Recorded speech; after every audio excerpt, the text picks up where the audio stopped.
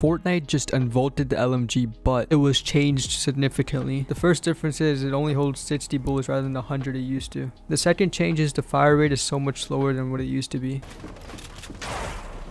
Stream Oh, this thing's trash. Yo, what? What is this? Bro, what? Why does this thing have such a low fire rate? The third change is the recoil is so much better from a long range than what it used to be.